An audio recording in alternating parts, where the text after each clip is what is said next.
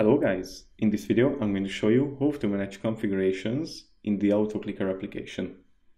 But first I just wanted to mention, please don't forget to subscribe to my channel because at 10,000 subscribers I'm going to show you my whole YouTube revenue statistics and growth strategy.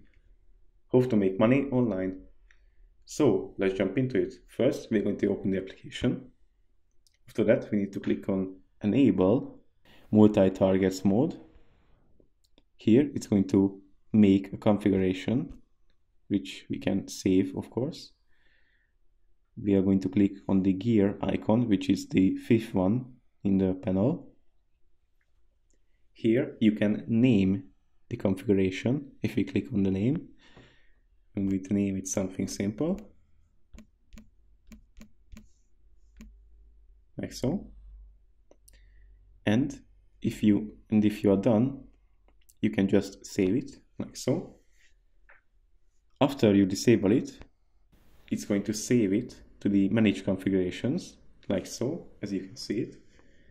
Here it has three options. The first one will automatically set it up like so. The second option is copy, which will make a copy of it like so. And the third one is a drop-down menu, which will show us two more options edit configuration name and delete configuration. Here you can change the name of the configuration like so.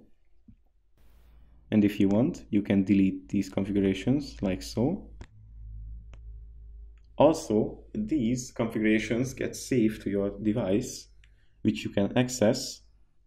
And if you want to save this configuration to your device, at the upper right corner, you can just do that with the export button. Here it's going to save it as a txt file. I'm going to save it and it saved it successfully.